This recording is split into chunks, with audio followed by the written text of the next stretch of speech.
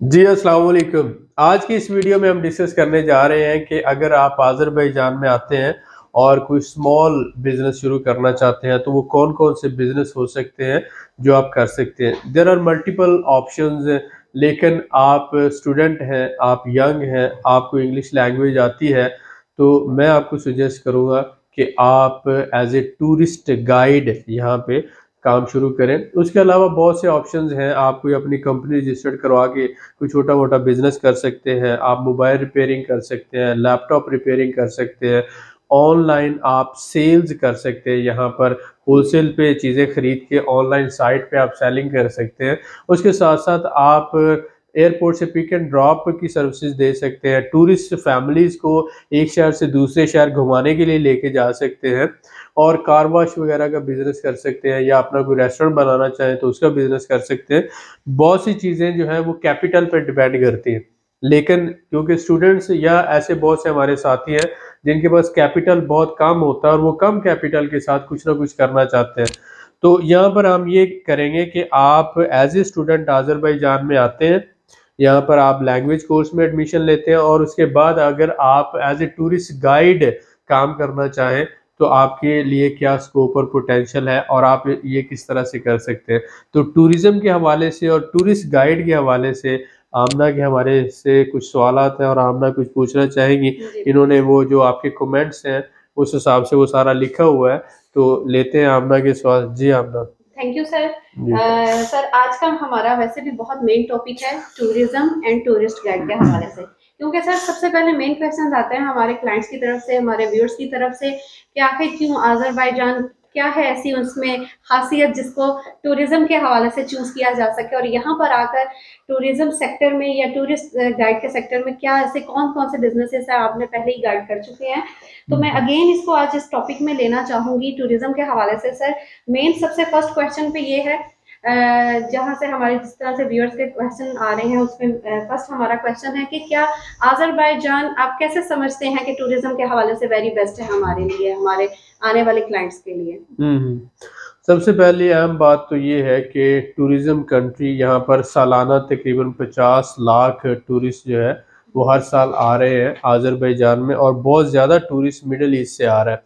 और उसके बाद अगर हम बात करें तो यूरोप यूके अमेरिका कनाडा से बहुत ज़्यादा लोग बिज़नेस के लिए यहाँ पर आते हैं। इस तरह से जापान है, कोरिया है और साथ ही साथ रिसेंटली जो है वो इंडिया पाकिस्तान से भी बहुत ज़्यादा टूरिस्ट आ रहा है।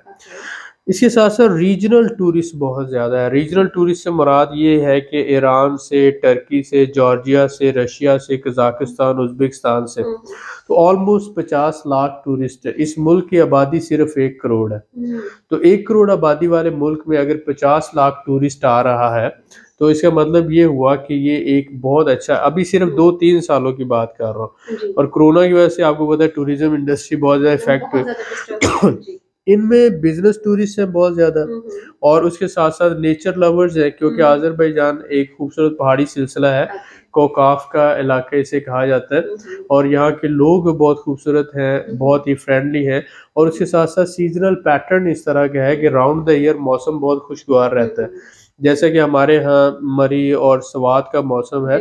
सिर्फ़ एक महीना बर्फबारी होती है बाकी पूरा साल जो है मौसम इंतहाई खूबसूरत अच्छा रहता है। और क्राइम फ्री है। और इस वजह से यहाँ पर जो है आप कह सकते हैं कि जियोग्राफिकली भी ऐसी पोजीशन पर है कि मिडल ईस्ट से भी लोग यहाँ पर आ रहे हैं और इसके साथ साथ यूरोप से और बाकी ममालिक से।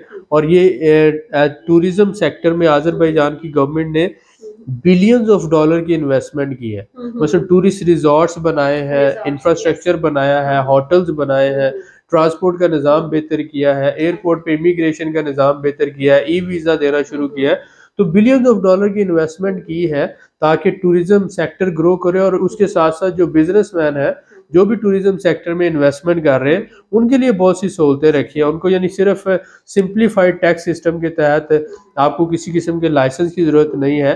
आप होटल बनाना चाहें, हॉस्टल बनाना चाहें, टूरिस्ट रिजॉर्ट बनाना चाहें या टूरिस्ट सर्विसेज़ कोई भी आप देना चाहें तो आपको कोई स्पेशल सिर्फ़ कंपनी रजिस्टर्ड करवाएँ टैक्स नंबर लें वो जिसे कहा जाता है और आप अपना काम शुरू कर सकते हैं। तो गवर्नमेंट ने बहुत ज़्यादा फैसिलिटेट किया जिस वजह से टूरिज़्म यहाँ पर बड़ी तेज़ी से ग्रो कर रहा है। जो है वो दिन ब दिन ग्रो कर रहा है जी अल्हम्दुलिल्लाह ओके सर मैं नेक्स्ट ये पूछना चाहूँगी कि यहाँ पे क्लाइमेट किस तरह का रहता है थ्रू आउट द ईयर और दूसरा सर यहाँ पर मेन कौन से हमें आप बताना चाहेंगे कि हिस्टोरिकल प्लेसेस है जिन्हें हमारे पास टूरिस्ट आते हैं वो विज़िट करते हैं स्पेशली कुछ खास क्लाइमेट तकरीबन आठ से नौ क्लाइमेटिक जोन्स हैं। जिसमें आप ये देख सकते हैं कि सारे पहाड़ी सिलसिला है। लेरिक है गबाला है खूबा है शैकी है ये इंतहाई खूबसूरत पहाड़ी इलाके हैं।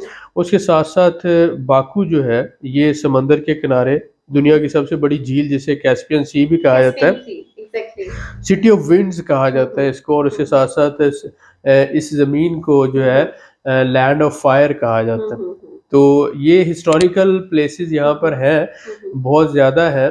तो लोग इस वजह से भी आते हैं यहाँ पे विज़िट करने लेकिन आजकल जो मेनली लोग आ रहे हैं वो इस वजह से आ रहे हैं कि पूरे सेंट्रल एशिया में फास्टेस्ट ग्रोइंग इकोनॉमी आज़रबईजान की है। तो ज़्यादातर बिज़नेस विजिटर्स हैं और जो किसी न किसी तरह से इम्पोर्ट एक्सपोर्ट से लिंक करते हैं क्योंकि यहाँ पर ट्रांजिट ट्रेड बहुत अच्छी हो रही है और उसके साथ साथ मिडल ईस्ट से लोग जो है यहाँ पर आते हैं। कल्चरल आप कह सकते हैं वो बैरियर्स क्योंकि मिडल ईस्ट के बिल्कुल पास है। और खूबसूरत अच्छे लोग हैं पुरमन मुल्क है पहाड़ी इलाका है। नेक्स्ट क्वेश्चन भी आपसे इसी रिलेशन है। कि सर आप कौन कौन से किन ग्रुप्स के लिए अपनी कंपनी की तरफ़ से फैसिलिटेट करते हैं कस्टमर्स को? लेट्स सपोज़ बिज़नेस है फैमिली टूर्स हैं प्रॉपर्टी तो सर इसमें आप कुछ काइंडली हमारे व्यूअर्स को एक्सप्लेन करें। रियल मेंटोर ग्रुप जो है ये सिर्फ़ बिज़नेस और इन्वेस्टमेंट को ही कंसिडर करता है। Okay. क्योंकि हम ये समझते हैं कि एक फ़ील्ड जो है उसमें अगर हम काम करें और उसमें हम ज़्यादा ब्रॉडर लेवल पे काम करें। स्मॉल बिजनेसमैन से लेकर मीडियम बिजनेसमैन और बड़े बिजनेसमैन को हम अपनी सर्विसेज़ दें। इसी एक के साथ साथ छोटा इन्वेस्टर बड़ा और उससे बड़ा इन्वेस्टर उसके लिए हमारी सर्विसेज़ हो। तो हम जो रियल बिजनेसमैन हैं या इन्वेस्टर्स हैं उन्हीं को सर्विसेज़ देते हैं। लिहाजा हम जो जनरल टूरिज़्म है जिसे हम लेयर टूरिज़्म कहते हैं तो उस तरह की टूरिज़्म में हम इन्वॉल्व नहीं होते।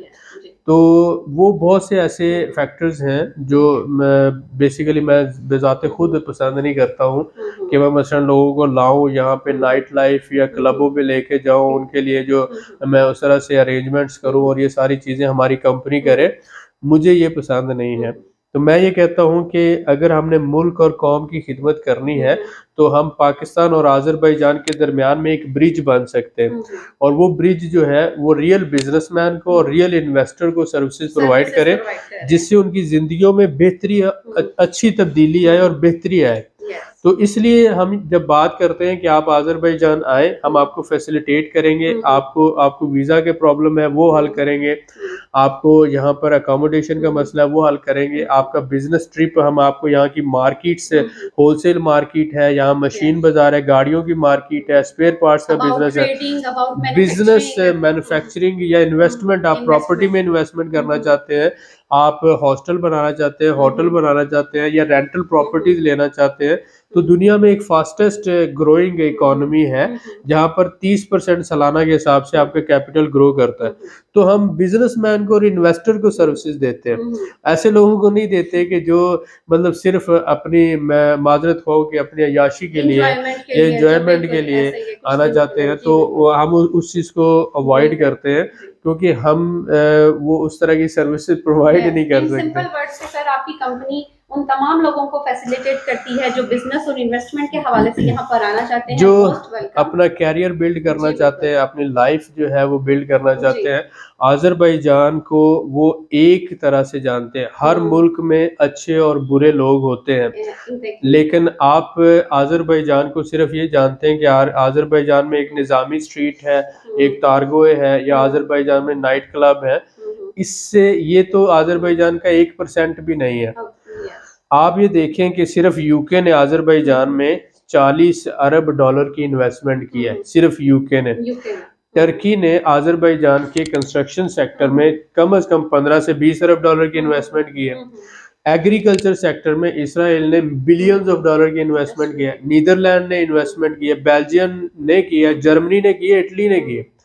तो यहाँ पर जो एग्रीकल्चर सेक्टर के अंदर स्कोप है इसके साथ साथ यहाँ पर लाइफ स्टॉक के अंदर जो स्कोप है टूरिज़्म के अंदर है मेडिसिन इंडस्ट्री में है टेक्सटाइल इंडस्ट्री में है उसके साथ साथ अगर हम बात करें कंस्ट्रक्शन इंडस्ट्री में तो अभी जो गाराबाग आज़ाद हुआ है अगले पंद्रह साल तक डेवलपमेंट का काम होता रहेगा।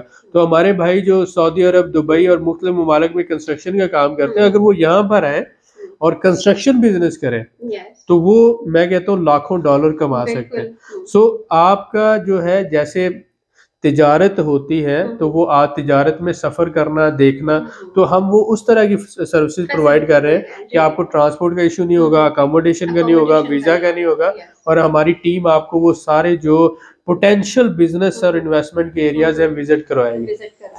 Very nice very nice sir thank you and sir मैं नेक्स्ट क्वेश्चन है मेरा अगला क्वेश्चन है कि क्या सर ये रीजनेबल कंट्री है अबाउट सेकंड लेट्स सपोज़ जैसे आप कहते हैं यूरोप है अमेरिका है टर्की है उन कंट्रीज़ से क्या ये रीजनेबल है फॉर टूरिज़्म के हवाले से या यहाँ पर हमारे जो भी आते हैं देखें अमेरिका कनाडा यूके मखसूस लोग जाते हैं और जो मिडिल तबका है या लोअर इनकम तबका है वो मलेशिया थाईलैंड या दूसरे ममालिक में विज़िट के लिए जाता है हम्म, हम्म।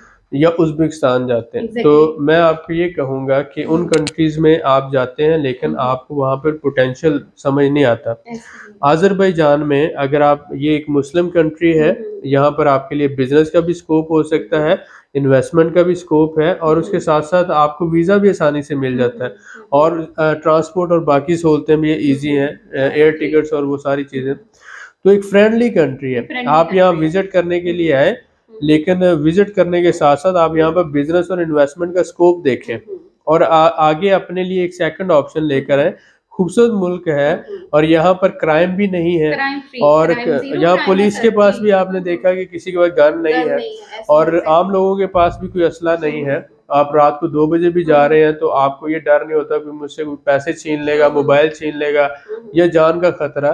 तो अल्हम्दुलिल्लाह ये एक मैं मैं अगर सिंपल वर्ड्स में कहूँ कि दुनिया में अगर कोई जन्नत का कॉन्सेप्ट है तो आप आए आजरबाईजान घूमे फिरे पंद्रह बीस दिन रहे तो आपको लगेगा कि दुनिया में अगर कोई जन्नत है तो वो आजरबाईजान है। Thank you so much sir sir आज के आपके क्वेश्चंस जो भी मैंने यहाँ पर व्यूअर्स की तरफ़ से आए थे उनके क्वेश्चंस के आंसर दिए यहाँ पे मैं एक और बात ऐड करूँगा कि जो हमने मेन पॉइंट करना था कि अगर आप यहाँ पर आते हैं स्टूडेंट हैं तो यहाँ पर बहुत से टूरिस्ट आ रहे हैं.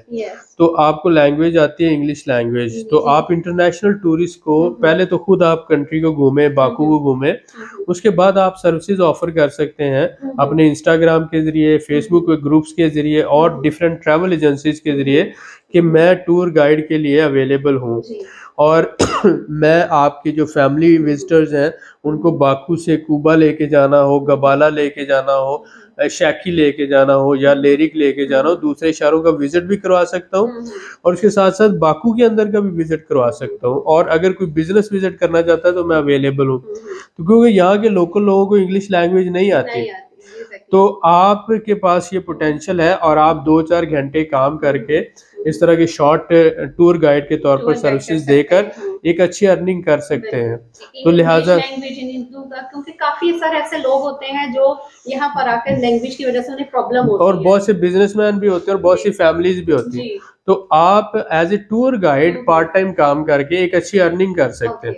तो एक अच्छा पोटेंशियल है। जिन लोगों को ये समझ नहीं आती कि हम क्या काम करें हम्म। तो मैं ये कहूँगा वो as a tourist tourist guide जो है एक छोटा स्टार्ट लें और आहिस्ता आहिस्ता फिर अपनी गाड़ी बना लें अपनी गाड़ी में फैमिलीज़ पे फैमिलीज़ को लेके जाएँ आप एयरपोर्ट से पिक एंड ड्रॉप करें फिर एक शहर से दूसरे शहर। फॉर एग्जांपल अगर किसी बंदे ने यहाँ से गबाला जाना है हम्म, हम्म। तो वो तकरीबन 200 मनात लेता है एक डे ट्रिप का। हम्म, गाड़ी का खर्चा 40 से 50 मनात है। तो इसका मतलब डेढ़ सौ मनात उसे एक ट्रिप में बच जाएगा। तो अगर वो महीने में दस ट्रिप भी लेके जाता है तो आप समझ सकते पंद्रह सौ मनाज बचा सकता है। तो दस ट्रिप लेके जाना एक महीने में पीक सीज़न में बिल्कुल मुश्किल नहीं होता। तो अर्निंग हो सकती है आपके पास आइडिया होना चाहिए और आप मेहनत करना जानते हो। तो लिहाजा मैं ये कहूँगा जो भाई काम ढूंढते रहते हैं उनके लिए ज़रूरी है कि वो एज ए टूरिस्ट गाइड अपना काम शुरू करें और उसके बाद आहिस्ता आहिस्ता अपने आप को डेवलप करते जाएँ। मिलते हैं नेक्स्ट वीडियो में। बहुत शुक्रिया।